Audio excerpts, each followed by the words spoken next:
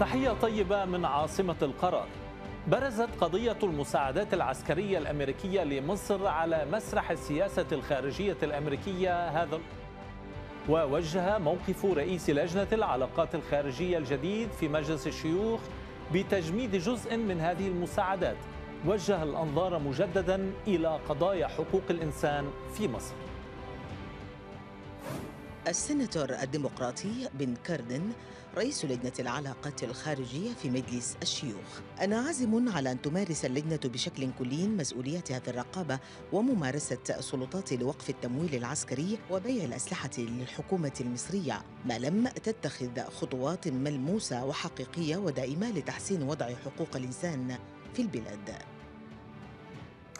الإدارة الأمريكية ردت من جهتها بالتأكيد على أهمية مواصلة هذه المساعدات لمصر. أريد الإشارة إلى أن الوزير بلينكين متمسك بقراره بأن مصلحة الأمن القومي الأمريكي التنازل عن بعض الشروط العسكرية المتعلقة بالتمويل العسكري الأجنبي لمصر للسنة المالية 2022 بما فيها ال 235 مليون دولار. الصحافة توقفت عند أوضاع حقوق الإنسان في مصر وقضية توجيه الاتهامات بالفساد إلى السناتور الديمقراطي بوب منانديز لقبوله رشاوى مقابل منافع للحكومة المصرية. روبي جرامر في فورين بوليسي يقول الكاتب إن الرحيل منانديز عن اللجنة وهو الذي عرف بصلابة موقفه واستعداده للدخول في صراع مع كبار مسؤولي الأمن القومي في الإدارات الديمقراطية والجمهورية على حد سواء يعني رحيل واحد من صقور اللجنة الذي اختلف مع أعضاء حزبه بشأن قضايا عدة مثل إيران وكوبا وصفقات السلاح الأجنبية. وعلق الخبراء على توجهات الكونغرس وخطوات الإدارة. كينيث روث المدير التنفيذي السابق لمنظمة هيومان رايتس ووتش بما أن وزارة العدل في إدارة بايدن تتهم الحكومة المصرية باستخدام الرشاوى لتأمين 235 مليون دولار من المساعدات العسكرية الأمريكية على الرغم من القمع في مصر فعلى بايدن أن يعلق المساعدات بنفسه وليس انتظار رئيس العلاقات الخارجية الجديد في مجلس الشيوخ ليفعل ذلك. عاصمة القرار يأخذكم إلى مراكز صناعة القرار في واشنطن لرسم الصورة الكاملة لكم. ضيفا حلقة اليوم توماس واريك كبير الباحثين في المجلس الأطلسي ونائب مساعد وزير الأمن الداخلي الأمريكي الأسبق. وخليل جهشان المدير التنفيذي للمركز العربي في واشنطن.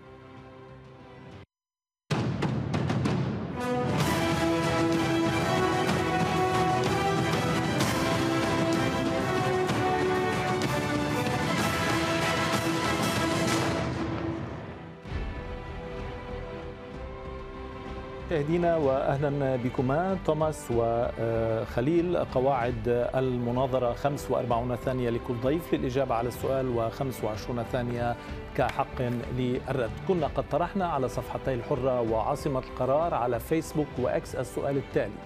هل تؤيدون ربط المساعدات العسكرية الأمريكية لمصر بتحسين أوضاع حقوق الإنسان؟ ولماذا؟ صوتوا وعلقوا على صفحات البرنامج على فيسبوك وإكس وسنعرض النتائج والتعليقات خلال هذه الحلقة.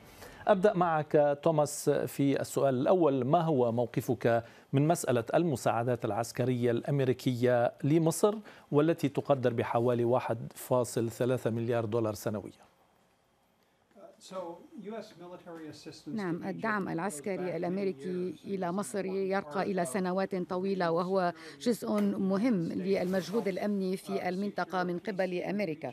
هو يساعد في ضمان السلام في المنطقة ويسمح بتعزيز جهود مكافحة الإرهاب والتعاطي مع عدم الاستقرار ايا كان مصدرها.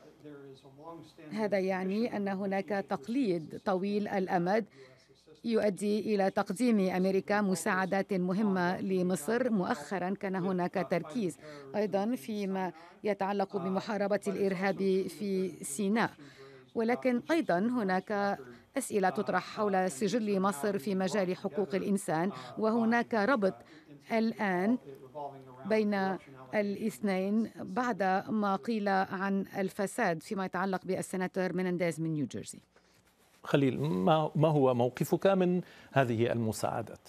من الواضح أن واشنطن والقاهرة تعتبران علاقات علاقاتهما الثنائية بأنها علاقات استراتيجية ودائمة وأن مصر تستحق وكأن هذا برنامج رفاه اجتماعي أن تكون هي الدولة الثانية في المنطقة التي تحصل على أكبر قسط من المساعدات الخارجية الأمريكية ولكن بصراحة يعني الفصل بين المساعدات الأمريكية لمصر والمساعدات الأمريكية لإسرائيل هو أمر تقني.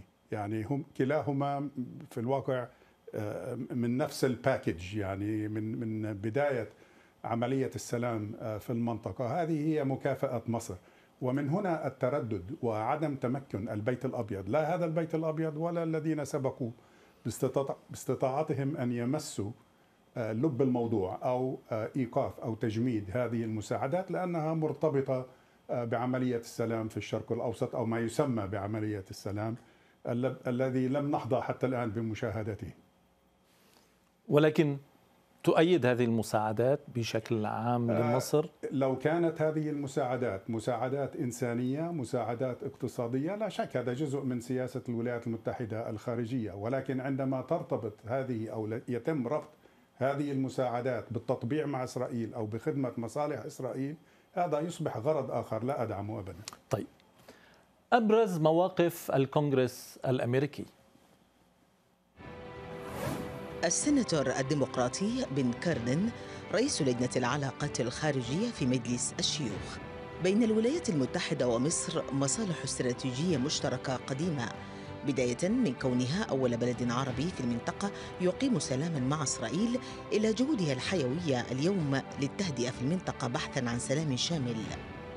استقرار مصر هو مصلحة قومية للولايات المتحدة وما يخدم هذه المصلحة بشكل أفضل هو قيام الحكومة المصرية باتخاذ خطوات دائمة وملموسة وحقيقية تجاه تحسين احترام حقوق مواطنيها.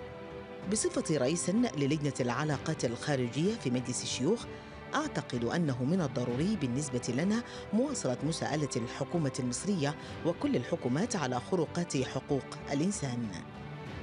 أنا عازم على أن تمارس اللجنة بشكل كلي مسؤولياتها في الرقابة وممارسة سلطات لوقف التمويل العسكري وبيع الأسلحة للحكومة المصرية ما لم تتخذ خطوات ملموسة وحقيقية ودائمة لتحسين وضع حقوق الإنسان. في البلاد.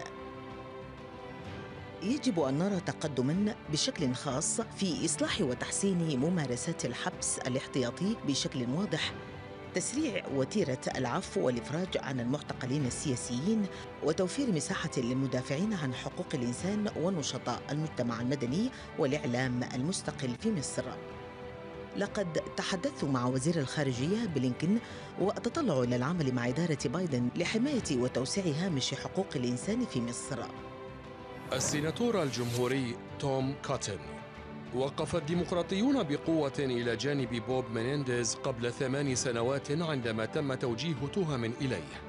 الفرق اليوم هو أن هناك انتخابات تشريعية في نيوجيرسي على المحك ولدى الحزب الديمقراطي العديد من أعضاء مجلس الشيوخ الذين يواجهون خطر عدم إعادة انتخابهم. وأيضا لديهم اليوم حاكم ديمقراطي لولاية نيوجيرسي يمكنه أن يعين بديلا لمينينديز. بعكس ما كان عليه الحال قبل ثمان سنوات عندما كان الجمهوري كريس كريستي هو حاكم الولاية. السيناتور الديمقراطي كريس ميرفي لقد أوضحت مرارا وتكرارا أن مصر لم تظهر تقدما واضحا ومتسقا بشأن إطلاق سراح السجناء السياسيين وتحسين سجلها في مجال حقوق الإنسان وبالتالي لم تفي بالشروط التي وضعها الكونغرس بشأن المساعدة الأمنية. لقد تنازلت الإدارات الأمريكية مرارا وتكرارا عن الشروط التي فشلت الحكومة المصرية في الوفاء بها أو وافقت تلك الإدارات على امتثال مصر لها على الرغم من الأدلة الوافرة التي تشير إلى عكس ذلك إلى أن نرى تقدما حقيقيا في هذه القضايا فإن منع هذه المساعدات العسكرية هو القرار الصحيح. إن العالم ينتبه عندما تفعل الولايات المتحدة أكثر من مجرد الحديث عن التزامها بحقوق الإنسان والديمقراطية.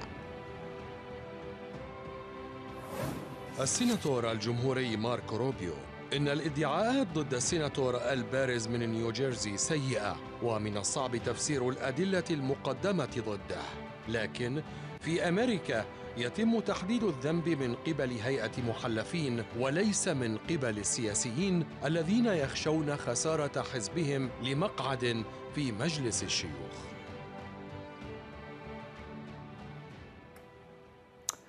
خليل هل تؤيد قرار رئيس لجنة العلاقات الخارجية الجديد في مجلس الشيوخ بن كاردن بوقف بعض المساعدات العسكرية؟ عفوا لمصر طالما لم تحقق تقدما في مجال حقوق الإنسان. أه، يتوجب على اللجنة أن تتخذ خطوات صارمة من هذا النوع ولكن أه، التجميد الجزئي لمبلغ بسيط من هذه المساعدات لن يلبي ما تتطلب هذه الأزمة من خطوة جدية. آه، من قبل الإدارة ومن قبل آه، الكونغرس. فلا أعتقد أن تجميد 50 أو حتى 200 آه، مليون دولار سيأتي بالنتائج المطلوبة حاليا وتغيير سياسات داخلية في مصر بخصوص حقوق الإنسان. توماس نفس السؤال. أعتقد أننا ننظر إلى وضع نرى فيه أن الحكومة المصرية تتعاطى مع رجل أعمال أمريكي من أصول مصرية تظهر بعض العلاقة الفاسدة. طبعا ننتظر أن تكون هناك براهين ولكن استمعنا إلى ما قرأتموه من بعض أعضاء مجلس الشيوخ. وقد وضع ما حدث مصر في ولكن موقف صعب. السؤال هل تؤيد وقف أو تعليق بن كاردن بعض المساعدات العسكرية لمصر؟ نعم. لأنه لا بد للحكومة المصرية أن تعترف بهذه الظروف التي حصلت ولا بد أيضا من أن تكون هناك عمليات تحسين مثلا ولدينا كل هذه الاتهامات المتعلقة بالسيناتور مينينديز. وبالتالي من المهم بالنسبة للحكومة المصرية أن تبدأ بالقيام ببعض التحسينات.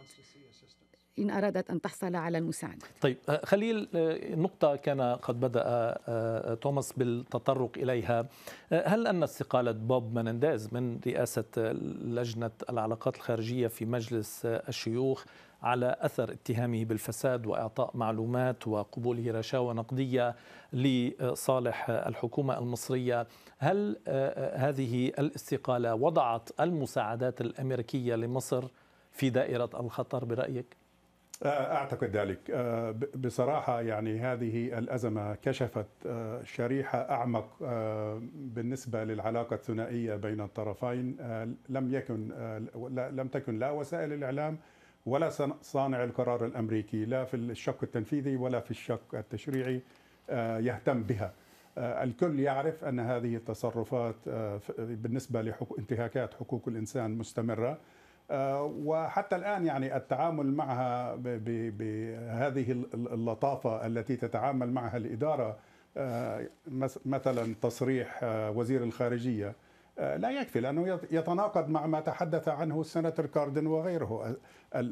مجلس الشيوخ يتكلم بالنسبة للضغط على النظام المصري والإدارة تتكلم عن ضرورة الاستمرار في ضخ هذه م. الأموال إلى نفس النظام في مصر م. آه، لأسباب تدعي بأنها ته... ته... يعني مهمة آه، بالنسبة لامن واستقرار المنطقة. توماس يعني برأيك النقطة التي كنت قد بدأت بها بأن المساعدات قد تكون عرضة للخطر نتيجة استقالة آه، بوب منندز من رئاسة اللجنة واتهامه بهذه الاتهامات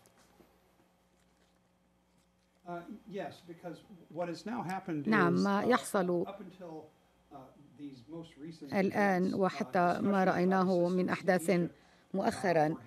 المناقشات المتعلقة بالمساعدات لمصر كان يؤثر عليها خاصة بضعة أشخاص مهتمون بالشؤون المصرية والشؤون الأمنية. وكنا نفترض أن ذلك سيستمر ولكن مع هذه الاتهامات وهذا الربط بين الحكومة المصرية ورجل أعمال متهم بالفساد ومحاولة التعاطي مع أعضاء مجلس الشيوخ كل ذلك سيؤدي إلى تشكيك حيال الحكومة المصرية ولا بد من مواجهة هذا الواقع. أعتقد أن السبيل الأفضل للخروج من هذه الورطة هو بالنسبة للحكومة المصرية أن تلبي بعض الأسئلة المتعلقة بحقوق الإنسان. نعم. أو لا هل تتوقعون وقف هذه المساعدات؟ آه، لا أتوقع وقف المساعدات كليا ولكن آه، أتوقع تجميد جزء لمجرد جلب انتباه الحكومة المصرية لهذه الأزمة ولكن إيقاف جميع المساعدات إلى مصر لا أعتقد أن الإدارة ستقبل بذلك ونحن مقبلون على انتخابات رئاسية.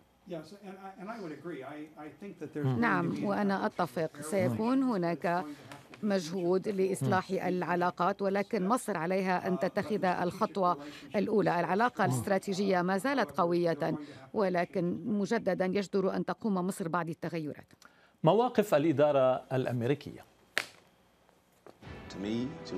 بالنسبة لنا حقوق الإنسان هي مصلحة قومية والأمر لا يتعلق بالمصلحة القومية في مقابل حقوق الإنسان.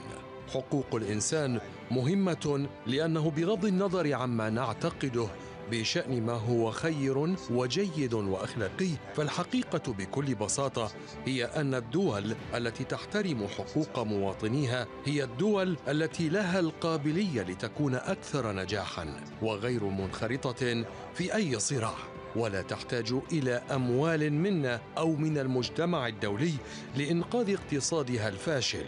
وليست مصدرا للهجرة لأن الناس تفر من القمع أو الصراع. سنواصل الانخراط عن كثب ليس فقط مع الحكومة المصرية ولكن أيضا مع الكونغرس حول كيفية استخدام هذه الأموال بما يتفق مع التزامنا بشراكة استراتيجية بين الولايات المتحدة ومصر لتعزيز رؤيتنا المشتركة لمنطقة آمنة ومزدهرة وشراكة تمكننا من إحراز تقدم ملموس ومستدام في قضايا حقوق الإنسان. أريد الإشارة إلى أن الوزير بلينكين متمسك بقراره بأن مصلحة الأمن القومي الأمريكي التنازل عن بعض الشروط العسكرية المتعلقة بالتمويل العسكري الأجنبي لمصر للسنة المالية 2022 بما فيها ال 235 مليون دولار. لقد خصصنا ما مجموعه مليارا و215 مليون دولار من التمويل الذي ستحصل عليه مصر للسنة المالية 2022 نحن مستمرون في العمل على هذه القضايا مع الكونغرس وشركائنا في مصر وسيستمر هذا الأمر.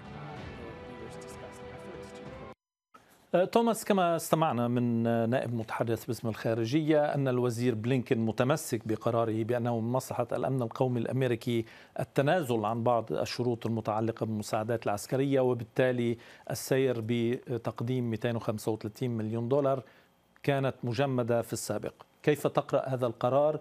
وماذا تغير بين الأمس واليوم للإفراج عن هذه الدفعة الجديدة من المساعدات؟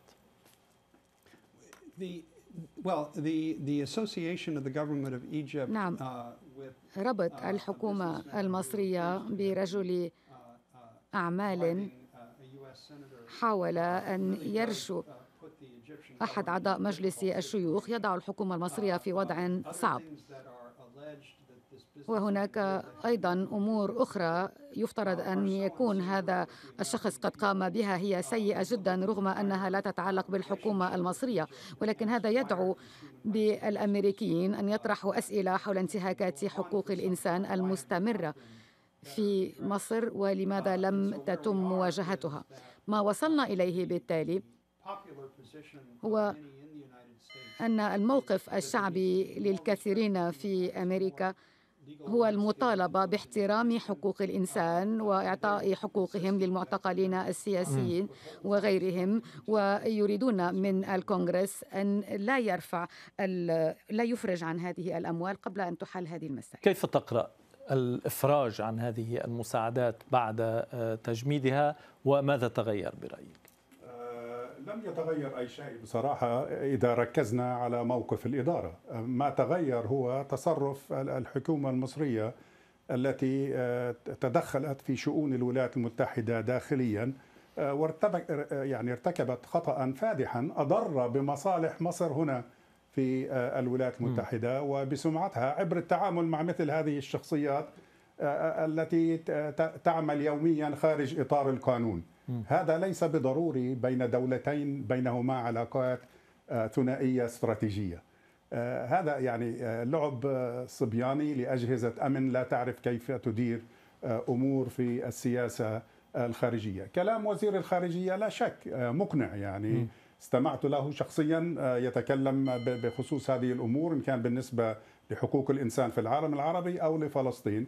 ولكن المشكلة أن السياسة الأمريكية كما يتكلم عنها وزير الخارجية وغيره من المسؤولين لا تتطابق مع ما يجري على أرض الواقع بالنسبة لتطبيق هذه السياسة. طيب سؤال آه، أخير في هذه الفقرة توماس كيف يجب أن توفق الإدارة بين مصلحة الأمن القومي وحقوق الإنسان في مصر؟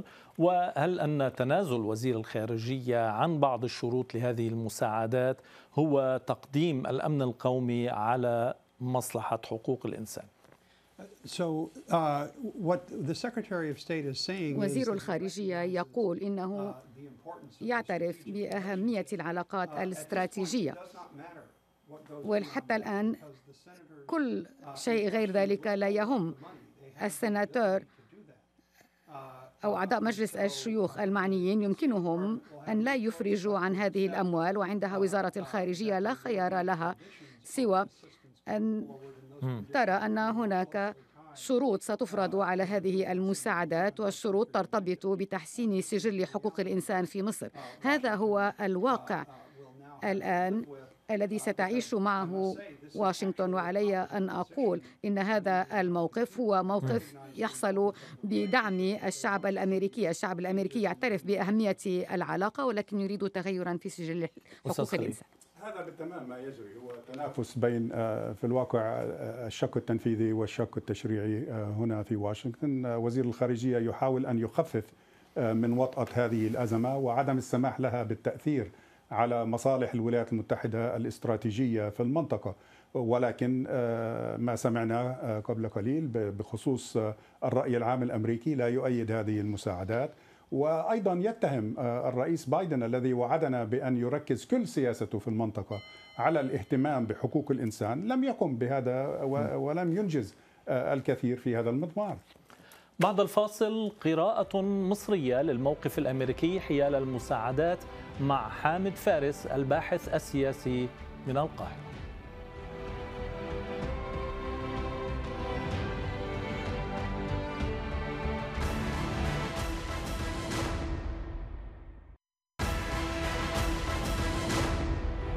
أهلا بكم من جديد إلى عاصمة القرار ينضم إلينا من القاهرة الدكتور حامد فارس الأكاديمي والباحث السياسي وأستاذ العلاقات الدولية والعلوم السياسية.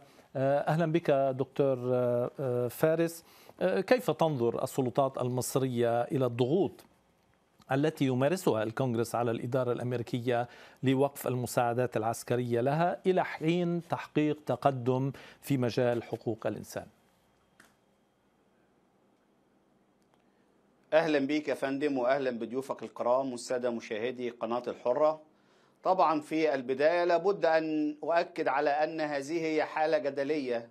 كلما تأتي الحكومة الأمريكية وفي كل عام لإعطاء مصر هذه المعونة أو هذه المساعدات العسكرية نجد وبشكل واضح أنه تصار حالة جدلية وبأنه لابد من حجب المساعدات العسكرية عن الدولة المصرية ويتذرع صناع القرار في الولايات المتحدة الأمريكية بحقوق الإنسان على الرغم من أن مصر حققت نقلة نوعية في ملف حقوق الإنسان بشكل واضح يعني أطلقت الاستراتيجية الوطنية لحقوق الإنسان في سبتمبر 2021 وبعدها أطلقت حوارا وطنيا دم ضم كل أطياف القوى السياسية والمعارضة المصرية وأيضا يعني جددت نشاط لجنة العفو الرئاسي وأفرجت عن أكثر من 1600 مسجون يعني طبقا لأحكام القضاء المصري وبالتالي تحركت الدولة المصرية بشكل كبير في هذا الملف.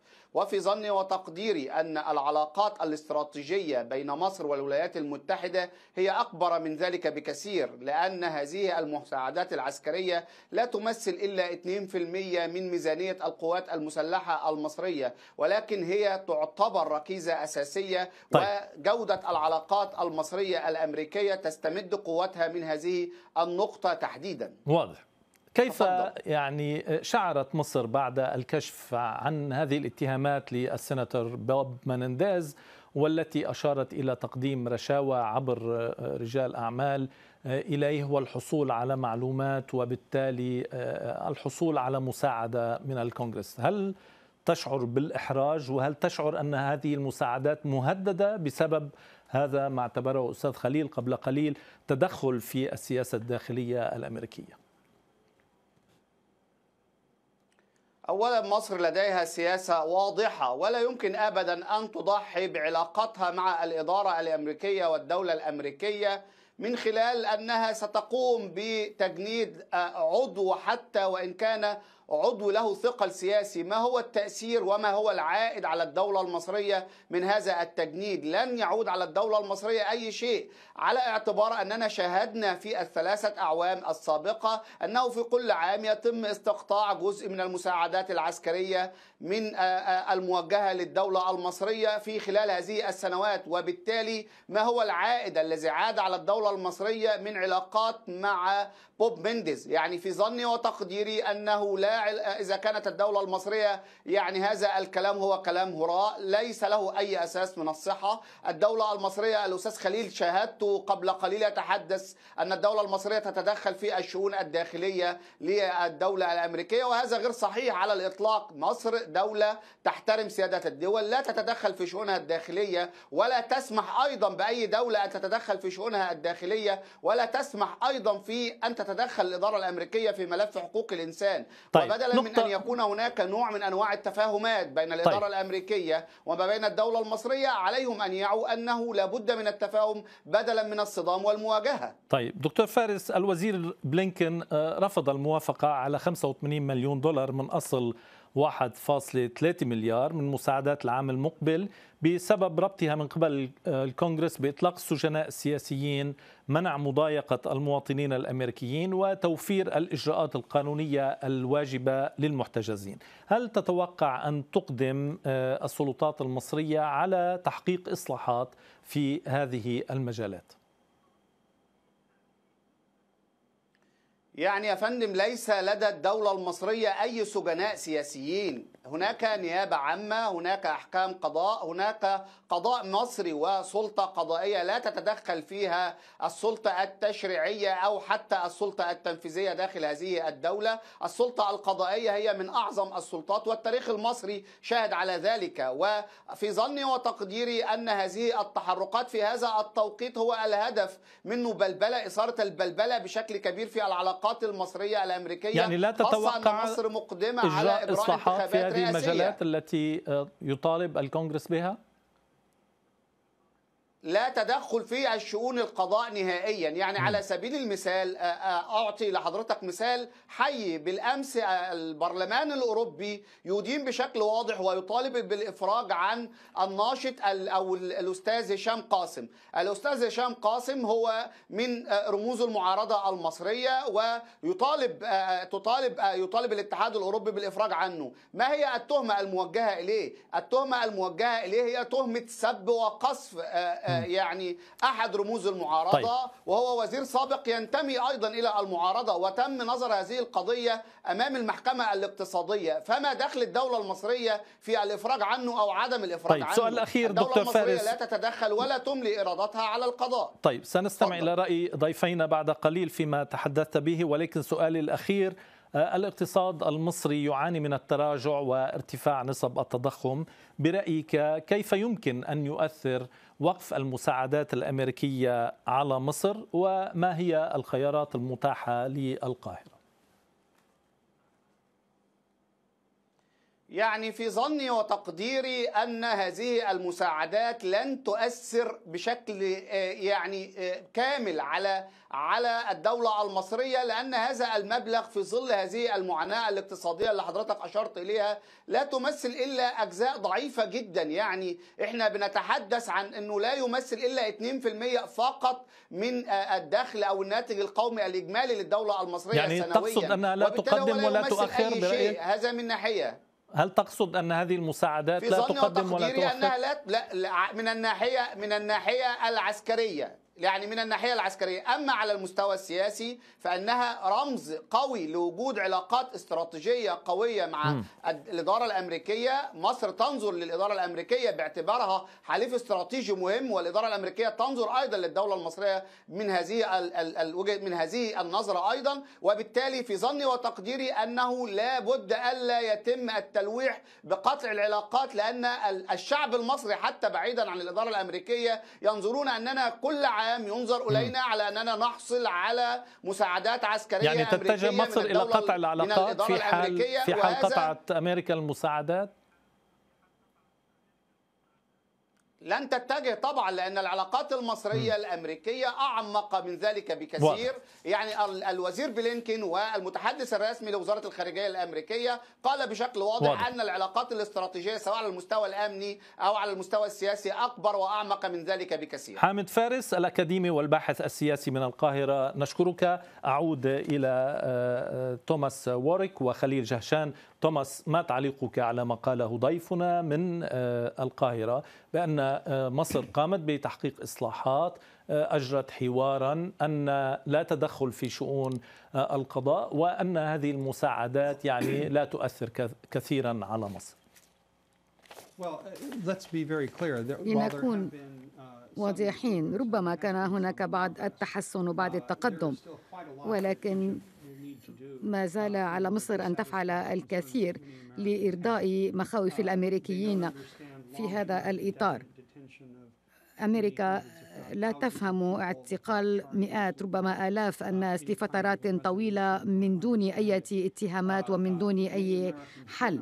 الكثير من الأمريكيين لا يفهمون أيضا لماذا المنظمات غير الحكومية التي تعمل على تحسين حياة المصريين وغيرها لا يسمح لها بأن تعمل بحرية كما تعمل في دول أخرى. ولماذا البرامج التي تمولها أمريكا أو لماذا مصر لا ترحب بهذه المشاريع؟ تعليقك أستاذ خليل على ما بصراحة طرح. يعني مع كل احترامي للدكتور حامد لا أحسد على موقفه. الحديث حول هذه المواضيع من القاهرة ليس بالأمر السهل ولكن بصراحة هو أساء فهم أصلا طبيعة الاتهامات ضد عضو مجلس الشيوخ تكلم عن التجنيد. المشكلة ليست مشكلة تجنيد هي مشكلة تأثير على مواقف عضو مجلس الشيوخ بطريقة غير قانونية. فالمسألة ليست مسألة تجنيد وبصراحة هو ليس الوحيد في مصر. يعني أحد الأصدقاء كنت أتكلم معه في مصر البارحة أشار أن المسؤول المصري الذي أشرف على هذه العملية عملية التأثير غير الشرعية هو بطل قومي. بالنسبة له من من من مفهوم مصري. هذا ليس بطل قومي لأنه وضع بلده في مأزق.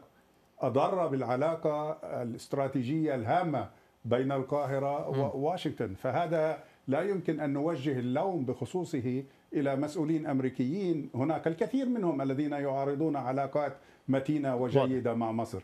ولكن المشكلة هنا تكمن بيد المصريين المسؤولين المصريين الذين أشرفوا على مثل هذه العملية. رأي الصحافة الأمريكية.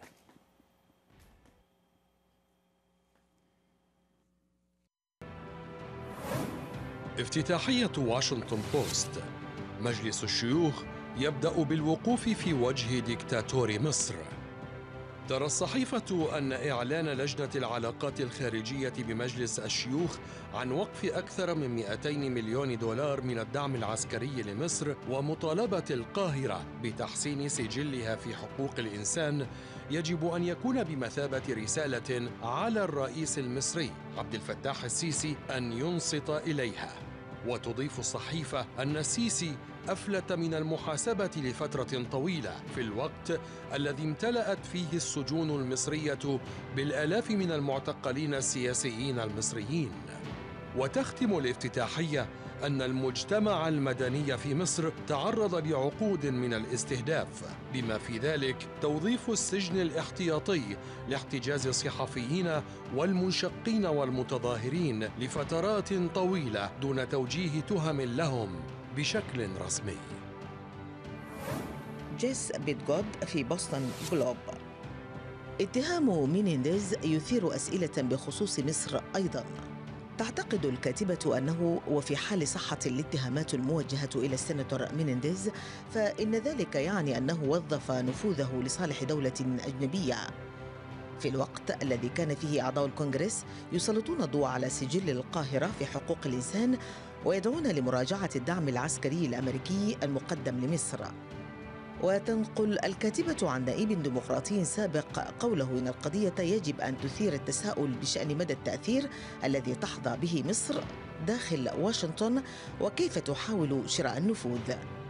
وتختم الكاتبة المقال بالتساؤل عما إذا كانت مقاربة لجنة العلاقات الخارجية في مجلس الشيوخ التي كان يرأسها مينينديز ستتغير اليوم تجاه القاهرة رغم أن موقف الإدارة قد لا يتغير بسبب حاجة واشنطن لمصر في الشرق الأوسط.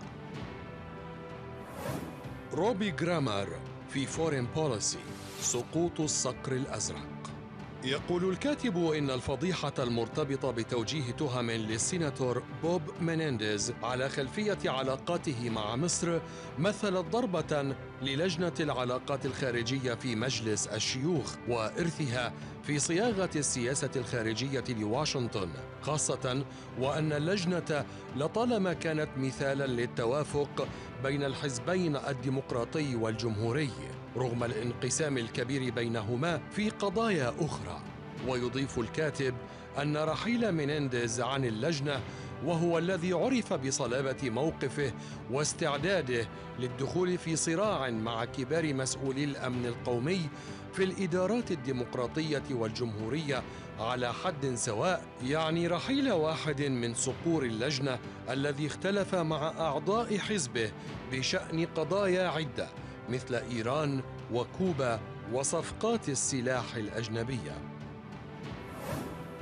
كين كليبنشتاين ودانيال بوغوزلاف في موقع ذا انترسبت لائحة اتهام مينينديز تبدو وكأن مصر جندت مصدرا استخباراتيا. يقول الكاتبان إنه في حين ركزت التغطية الإعلامية للاتهامات الموجهة إلى السيناتور مينينديز على الذهب والأموال التي تلقاها يركز خبراء الأمن القومي الأمريكي على ما يرتبط بأي معلومات حساسة قدمها مينينديز للجانب المصري. بما في ذلك ما يخص السفارة الأمريكية في القاهرة والعاملين فيها. وهو ما يسهل على السلطات المصرية مراقبة السفارة. وينقل المقال عن خبير قوله إن الجانب المصري قد يكون تعامل مع مينينديز على كونه مصدرا للمعلومات الاستخباراتية وإنه كان في نية مصر دفع رئيس لجنة العلاقات الخارجية السابق تقديم المزيد من المعلومات السرية والاستمرار في خرق القانون. أستاذ خليل آه، الخطوة التي أقدمت عليها الإدارة بالتنازل عن بعض الشروط المتعلقة بالمساعدات تأتي في وقت تستعد فيه مصر للانتخابات الرئاسية. منافسون للرئيس السيسي يتحدثون عن أنهم يواجهون عوائق للحصول على آه، التوقيع المطلوبة لقبول ترشيحهم ويستمر في هذا الوقت وجود آلاف السجناء السياسيين وقمع الحريات ومنع آه، حرية الصحافة. كيف يجب أن تتعامل الإدارة مع هذا الوضع في ظل هذه يعني الخلاف الداخلي بين الإدارة والكونغرس؟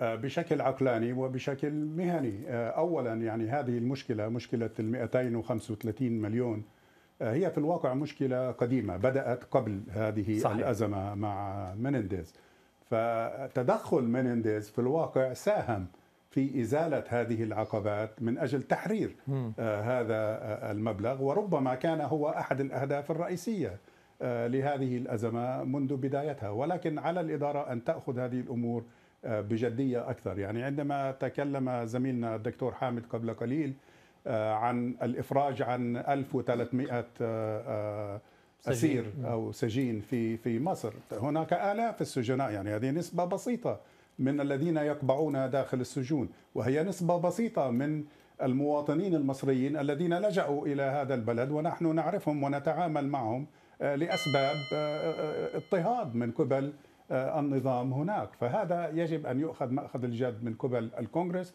ومن قبل الإدارة. توماس. نعم أمريكا وواشنطن على وجه وجه الخصوص. ربما لا تهتم بما فيه الكفاية بالانتخابات في دول كمصر رغم أهميتها. واشنطن بدل ذلك تركز على الانتخابات الأمريكية. وأعتقد أن إدارة الرئيس بايدن والحزب الديمقراطي الآن يريدون المحافظة على مجلس الشيوخ وسيستمعون إلى الأصوات التي ستحاول خفض المساعدات لمصر حتى يتغير سجل حقوق الإنسان. هذا هو أعتقد الآن الواقع التي عليها مصر وواشنطن أن توافق عليه بعد الفاصل هل تؤيدون ربط المساعدات العسكرية الأمريكية لمصر بتحسين أوضاع حقوق الإنسان؟ استطلاع يلقي الضوء.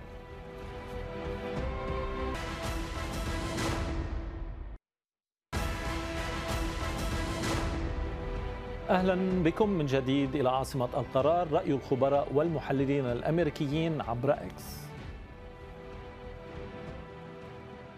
مركز السياسة الدولية في واشنطن. نحن فخورون بدعم قرار السيناتور بن كاردن والنائب غريغوري ميكس بوقف الدعم العسكري لمصر للدفع بالمصالح المشتركة للشعبين المصري والأمريكي بحماية حقوق الإنسان ودعم مبادئنا القومية في السياسة الخارجية للولايات المتحدة. ألكسندر ماكاوي ناشط وكاتب أمريكي. من المدهش ما يمكن تحقيقه عندما لا يستطيع النظام السلطوي في مصر رشوة رئيس لجنة العلاقات الخارجية في مجلس الشيوخ بسبائك ذهب. في إشارة إلى تجميد لجنة العلاقات الخارجية مبلغ 235 مليون دولار مساعدات عسكرية لمصر. كينيث روث المدير التنفيذي السابق لمنظمة هيومن رايتس ووتش بما أن وزارة العدل في إدارة بايدن تتهم الحكومة المصرية باستخدام الرشاوى لتأمين 235 مليون دولار من المساعدات العسكرية الأمريكية على الرغم من القمع في مصر فعلى بايدن أن يعلق المساعدات بنفسه. وليس انتظار رئيس العلاقات الخارجية الجديد في مجلس الشيوخ ليفعل ذلك.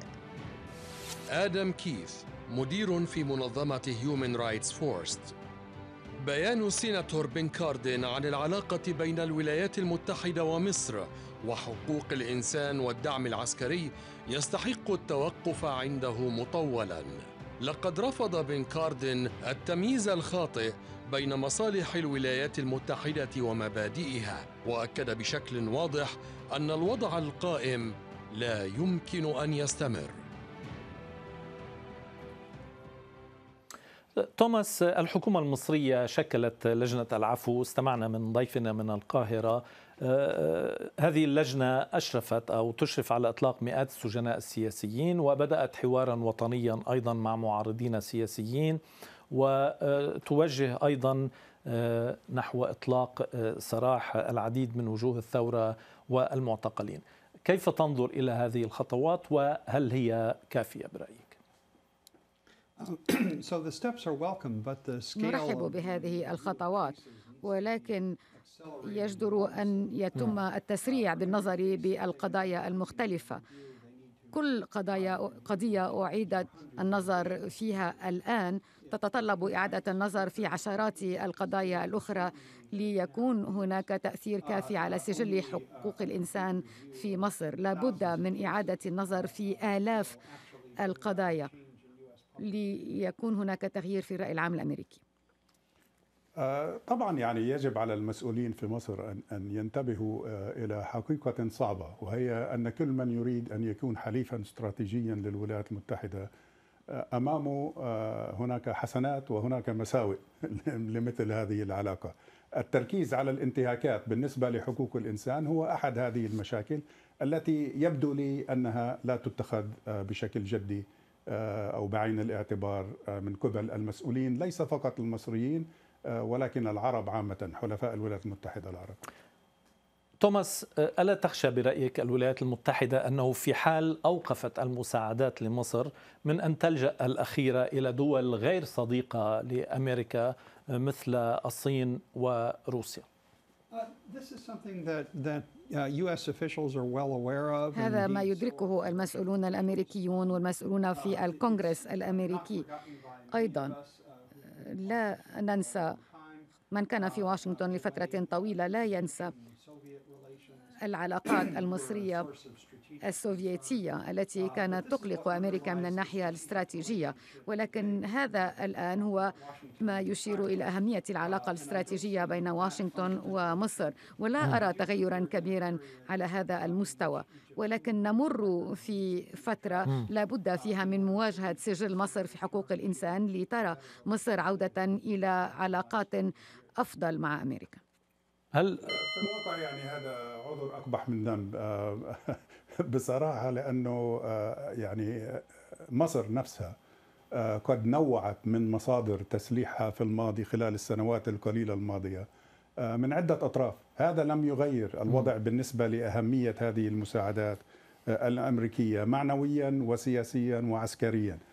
فلا تستطيع آه، آه، دولة مثل مصر حيث اعتمدت على التسليح الأمريكي والسلاح الأمريكي لفترة طويلة أن تغير تقنيا بسرعة إلى مصادر أخرى آه، مختلفة كليا عنها.